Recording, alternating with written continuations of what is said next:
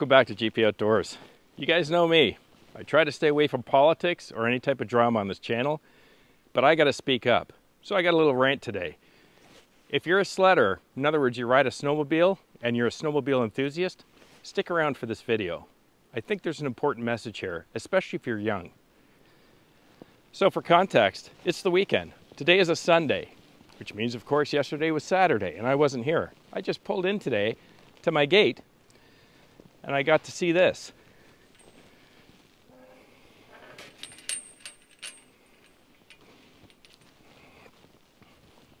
Now, for you folks that ride a sled, you know exactly what this is. You got it. Despite all of the private property signs, I got somebody, some yahoo, that decided they were going to cut across my front lawn and try to make it up my driveway. Again. I know they're young or fairly new to snowmobiling, and I'll tell you why. There are two clues that give it away. First clue, anybody that's had any experience riding a snowmobile could have done a three-point turn in my driveway here without ripping up my driveway. So I know that they're fairly new to snowmobiling because I certainly wouldn't have needed to dig that track into my gravel. Second thing, anybody raised in my generation was taught to respect landowner property. In other words, they would have respected this sign, which is an official sign from the Federation of Snowmobile Associations here in Ontario. It's not just my little sign I put up on the property.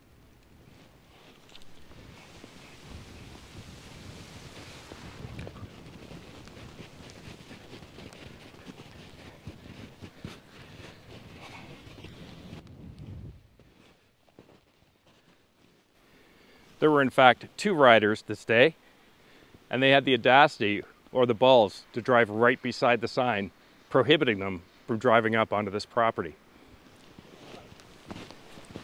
Here in Ontario, we're privileged and fortunate enough that we have, I believe, the last facts released by the Federation was that there was about 33,000 kilometers of pretty much all contiguous trails throughout this province. That means that basically you can start or jump on a trail about 100 kilometers south of me, and you can go just about anywhere in the province from one trail to another. They pretty much all connect. However, as you might imagine, there isn't that much government land that is contiguous throughout the province. So the Association of Snowmobile Clubs relies on good faith and the kindness of private property owners to bridge the gap between government lands. In other words, it's contiguous because a very high percentage of that 33,000 kilometers runs through private lands, farmers' fields, private property owners like myself or my neighbor, to ensure that one trail can connect to another. How do we get those 33,000 kilometers? Well, first and foremost, there is literally an army of volunteers right across this great province that on their own time and their own dime constantly maintain and groom all these trails. Second thing, we owe a big thanks to a whole lot of private property owners or landowners, farmers, people like myself or my neighbor who have big chunks of property that make it possible for somebody like myself to get on this sled, head off down at the end of my lake, and literally within 50 feet of the end of this lake, there's a trail. And I can get on that trail and I can literally run this province for the next week and never have to double back on the same track twice. That's how big it is. When I was young, I was fortunate enough, like many of you in my age group, to be taught to respect private property, not to leave garbage on the trails or to drink on the trails or to speed on the trails, and to respect the privilege that we have. But there seems to be a new breed of sledder over the last few years that's emerged. And literally, if you check with the Federation, there are now thousands and thousands of kilometers of trails that are no longer accessible because landowners, like my neighbor, have had enough. They're sick of picking up the garbage. They're sick of the bad language and the parties that go on on their properties in the evenings. They're sick of people abusing the trails or going off the trails. Farmers do not like it when you run your snowmobile across their fields. That's why they agree to let us take 15 or 20 feet on one of the boundaries of their property to get through to the next trail. A perfect example that you folks saw in my snowmobile video a week and a half ago. I showed you where this trail now dead ends. That trail used to be a major connector between where I was on that rail bed and getting to a main trail about 15 to 20 miles southwest of me, which would take me now south another 100 miles or so, or 100 kilometers. It's cut off now because the landowner has had enough. So they sever the agreement. What I didn't show you on that video two weeks ago is how much of our day was spent running the side of a highway or a county road. And anybody running a two-stroke knows you got to constantly bank that machine every few minutes or it's going to overheat. It's miserable. It's certainly not the pretty views you guys got to see, which is what it used to be. But more and more, landowners are severing those agreements, cutting off access to their private property, which means that we have to run more and more roads. It's just the old saying. We all suffer because there's a few out there that just won't be respectful. So here's a classic example of why my neighbor finally, after decades, cut off access to this right of way through his property to snowmobilers. And I cannot tell you the countless number of times I came up over the steep hill and sure enough found beer bottles, pop cans, garbage, stogies spent, all kinds of paraphernalia from guys that would pull up into this little clearing here at the top of the steep hill and they'd use it as a rest spot, leaving all their garbage. A lot of people I found out over the years actually use this as a meeting place between trails. Another good reason why my neighbor finally said enough is enough is that he has four young children. And although a lot of you folks don't think the steep hill looks that steep on camera, it's steep enough that his children, they love tobogganing down this hill because it actually is steep enough to have a lot of fun on. And it just became too often that he was worried about his kids playing on this big steep hill when you've got snowmobilers screaming through this driveway like it's a racetrack. You folks may recall two winters ago, after he cut it off, and I mentioned to you, all of a sudden everybody found a way through my property to get back out onto this right of way or this driveway. 40, 45 feet in front of my front window. You might not think it's a big deal, but just picture 200 or more two-stroke sleds screaming 40 feet past your front window when you're trying to have dinner with your family. That's why I put the signs up. That's why I contacted the uh, Federation of Clubs and asked them for formal, specific signs that I could put up that hopefully people would respect. Not so, apparently. And well, if you've been watching the channel for the last few years, you'll know that right after access was cut off, I knew there'd be yahoos like these two guys trying to get across my property, which is why I spent the money and the time and effort and put a snow fence up right across the shoreline. I kind of figured after a few years we should be okay. People kind of get the hint. Well, once again, I'm wrong. So many folks that are new to the channel will constantly almost criticize me because you see me driving my tractor in what is my own driveway with my four-way flashers on my headlights and a yellow beacon. This is why.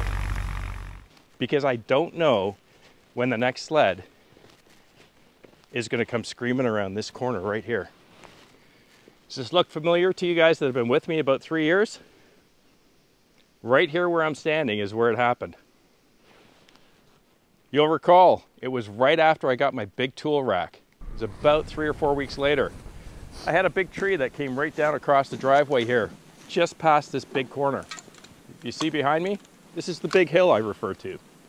Yeah, I pulled the tractor up, put my cones out, had my four ways on, pulled out my chainsaw, and I started cutting up that tree right about here. I had PPE on my ears, I had the chainsaw ripping, and I didn't hear him coming. Just after I finished my last cut, I stood right here in approximately this spot, right beside the back of the tractor, beside the big tool rack. And as I was shutting the chainsaw off, I could hear something in the background. And sure enough, it was the scream of a two-stroke, and he just came hurtling around this corner. He had one knee down on the driveway, and as soon as I saw his posture, I knew he was screaming really fast. I th literally threw the chainsaw and I jumped over here into the snowbank. He was coming so fast, he lost control through here, just missed the big tool rack of my tractor, went off into the side of the forest there, and eventually recovered into the driveway down there. Didn't even bother to stop to see how I was as I was picking myself up out of this snowbank right here, brushing the snow off. I looked up, he turned around, didn't even lift his helmet, waved his hand in the air and drove away. For reference, I pulled the tape measure out of my big tool rack and it was 10 inches between his right hand ski and the side of that big tool rack. Just a few examples as to why the landowners are cutting off access to all of us. It's got to stop. It does. And it starts with all of us. This problem is getting progressively worse. Everybody's aware of it. Our provincial government's aware of it. The association's aware of it. And more and more landowners keep severing those agreements. Guys and gals, we have a beautiful opportunity here to go through Ontario on a sled, see some sights a lot of people don't ever get a chance to see. And there's a few folks ruining it for us. I think it's important to recognize that there's a bigger issue here than just me having fun on a weekend or my buddies going for an eight day trip across Ontario and into Quebec and all the way back down a separate set of trails to come home. There's a lot of people whose livelihood depends on the snowmobile traffic in the wintertime. Here in Ontario, we have more than 470 separate, unique, individual municipalities. And there are even more small, tiny little towns or hamlets across this province. When guys like myself and my buddies, or so many of you, in fact, all 85,000 permitted snowmobiles in this province, go for your day trips or for two or three days or a week for your vacation, we go through the trail maps, we plan where we're going to have lunch, where we're going to find a motel at the end of you know our 300 kilometer run for the day, where we're going to sleep, where we're going to get breakfast. All of these things are usually found in these tiny little, little literally four corner towns. You know, there's a mom and pop diner, a mom and pop uh, hardware store, a grocery store, and there's a gas station. We fill up, we eat there, we spend money in these tiny little towns. And in the wintertime, this is their livelihood. And as more and more trails get shut down and less and less snowmobile traffic is able to make it to these tiny little towns, these people hurt because this is their economy in the wintertime. So it's just so critical that we recognize the impact we have on these tiny little towns, these mom and pop diners that are waiting for that snowmobile traffic for breakfast, lunch, and dinner. They know we're coming through the trails, they're waiting for us. And this is literally their economy in the wintertime for a lot of these tiny towns.